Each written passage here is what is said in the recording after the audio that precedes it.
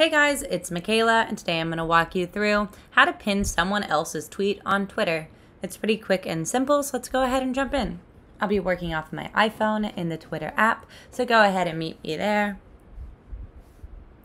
If you haven't already, go ahead and sign in.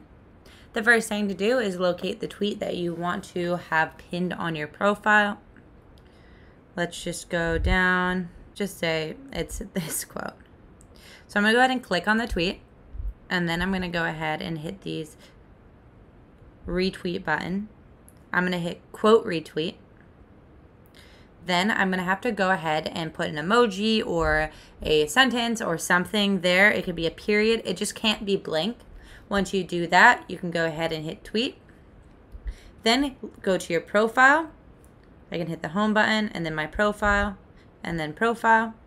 And then you can see it's at the very top right here.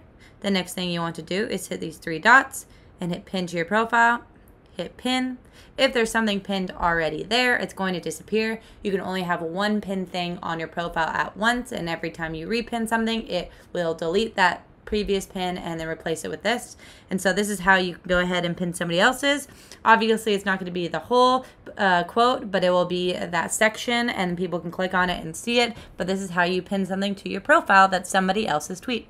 If you guys have any questions on that, let us know in the comments below. If not, don't forget to like and don't forget to subscribe.